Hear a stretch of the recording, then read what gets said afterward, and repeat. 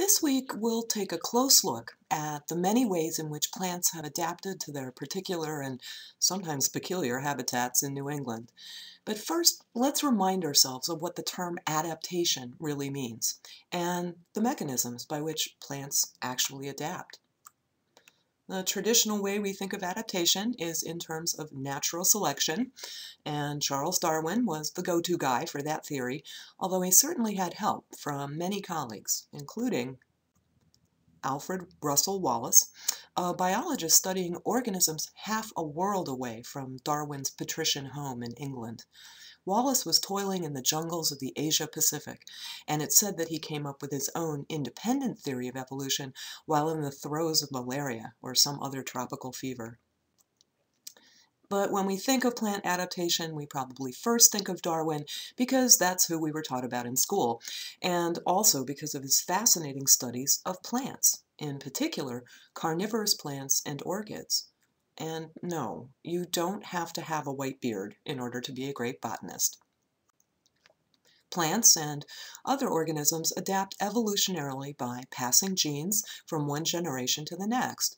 Most simply put, the plants in a population that can survive particular environmental challenges live on to convey their genetic material to the next generation, whereas plants less well adapted die before reproducing.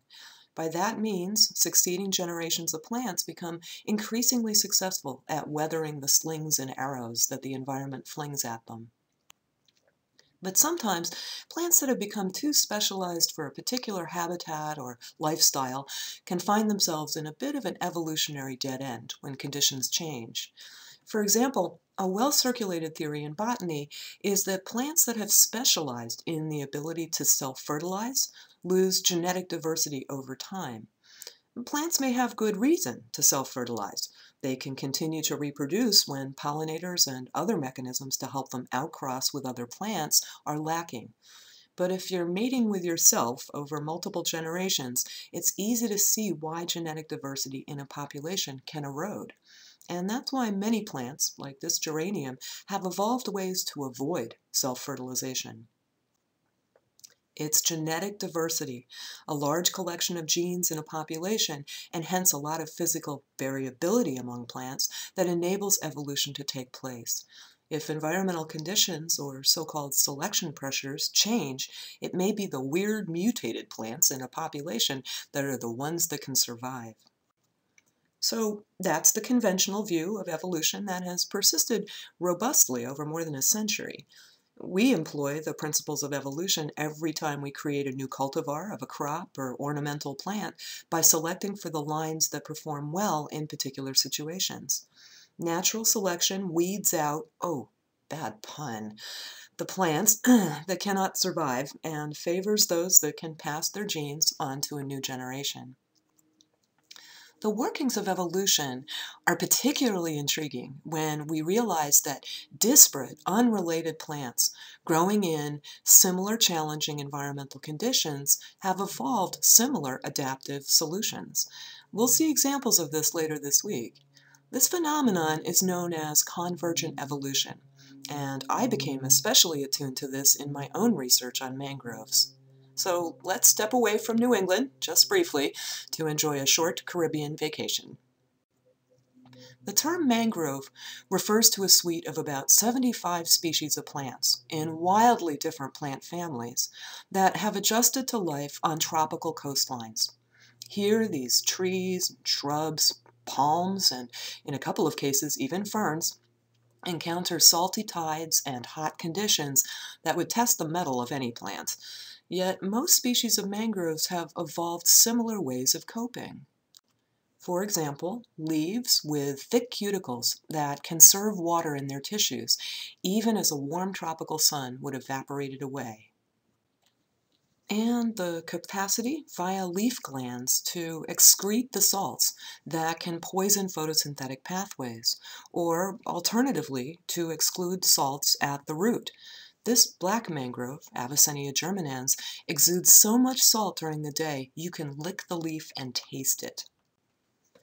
Mangroves also have some pretty crazy roots that grow above the ground or water surface, richly endowed with pores that allow oxygen to pass into them to counteract the effects of oxygen-depleted soils. And those roots hold oxygen in a special tissue called spongy parenchyma. Many mangroves also exhibit a strange mode of reproduction, which involves provisioning seeds so much that they actually germinate precociously on the mother plant. This is called vivipary, from the Latin for live and birth, and it's not especially common in the plant world.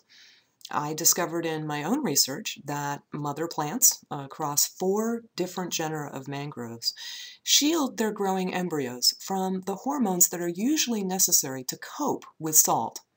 Maternal tissues have unusually high levels of these hormones, but these same hormones would usually be responsible for making seeds go dormant. And such hormones in such large amounts might never allow the seeds to germinate. So the hormone-shielded seeds sprout on the mother tree, and some newly germinated embryos can grow to prodigious sizes, even a meter long, and can float for enormous distances, even thousands of miles, before they finally root. So you see in this way that evolution is a series of trade-offs. Adapt to cope with one environmental challenge, and it has repercussions for many other traits that the plants exhibit. Mm, Convergent evolution is a clue to understanding how different plant species evolve.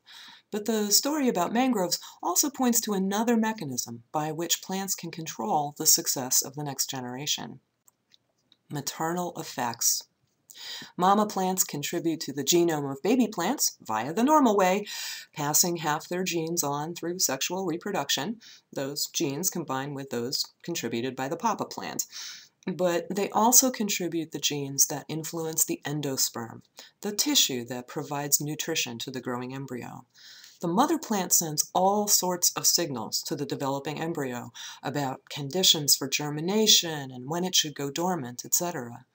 And although maternal effects are basically a form of what's called phenotypic plasticity, that is, short-term signals that influence how a plant responds flexibly to its environment, Maternal effects are also shaped by evolution. Short-term responses to the environment also shape the way in which genes act on the phenotype, or the outward appearance and behavior of a plant. We understand that genes are not the static entities we thought were passed on to the next generation without modification.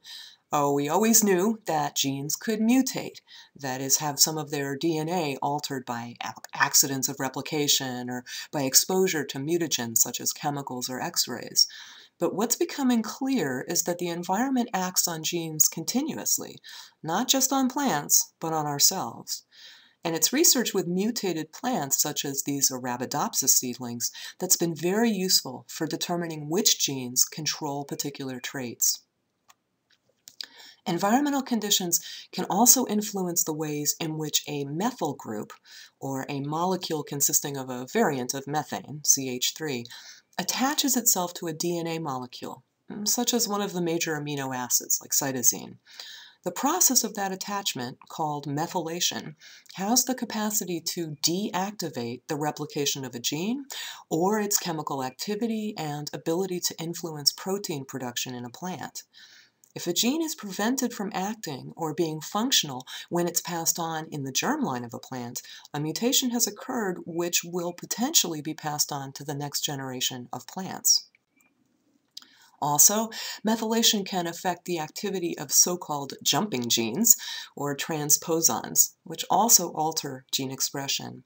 These jumping genes were first discovered by a botanical geneticist, Barbara McClintock, too early in the evolution of science to really understand what she was talking about, but which much later during her lifetime were recognized as important signalers and regulators within a cell. Now, these short-term gene responses, which ultimately can be inherited, are not the same as some instantaneously inherited adaptations. The scientist Jean-Baptiste Lamarck erroneously promulgated the theory of inheritance of acquired characteristics, the idea that organisms could pass down adaptations they acquired during their lifetimes.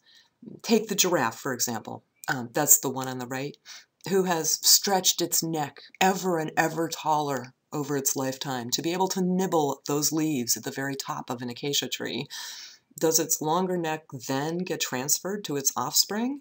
Not instantaneously. It'll have to take many generations of the same types of selection pressures for these types of characteristics to evolve.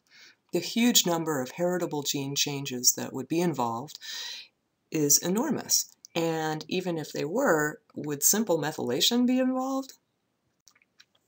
But we are beginning to realize that even small changes to the genome experienced during our lifetime, or that of a plant, can alter the genes we put into the great lottery of life called evolution. And some of the very best insights into evolution and genetics have come from studies of plants.